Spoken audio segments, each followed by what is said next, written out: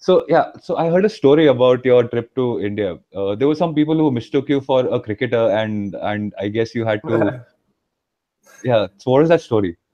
Uh, yeah. So from my trip to um, from Mumbai to uh, Pune, it was um, I guess okay. there was a big team uh, between uh, Great Britain and India. They were playing in Pune during that weekend. Is that right? Yeah, yeah. yeah. And the whole the whole team was on the same flight going from Mumbai. I guess they had just flown in, and they were catching the same connection. Okay.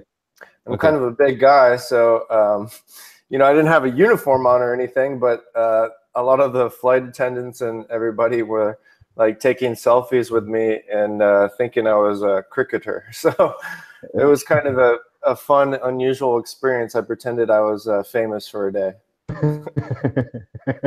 and that too that too like in a sport that's almost uh, like a religion out here.